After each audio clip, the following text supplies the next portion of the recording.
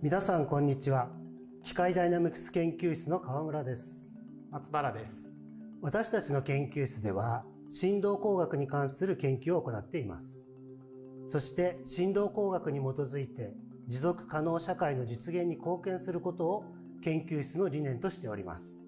私たちの研究対象は機械、機器、構造物、スポーツ用具などの人工物や身体運動です。でそして振動工学の知識に基づいてモデル化、解析、設計に関する教育研究を行っています。建物は風や地震などの作用で振動しますが、いろいろな装置でこれの振動を抑制しています。その中の一つに導球振器と呼ばれる装置を建物に取り付ける方法があります。考え方は建物の揺れに同調する別の振動計を取り付けるというものです。下の板が地面、垂直に取り付けられた板が建物と考えてください。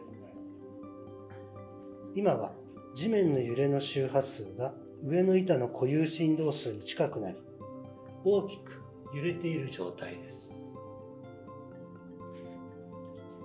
この揺れを低減するために、このような非常に簡単な構造の導球振器を取り付けてみます。長さをうまく調整しますと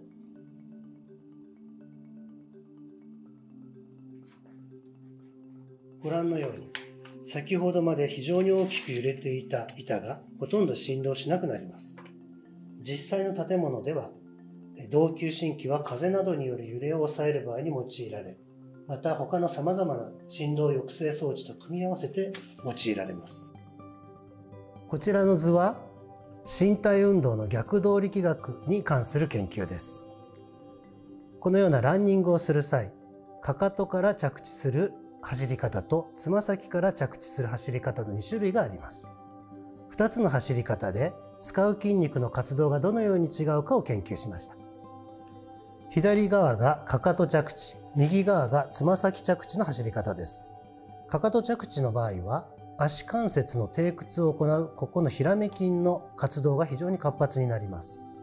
このように2つの走り方で筋肉の使い方が違うことが分かりました。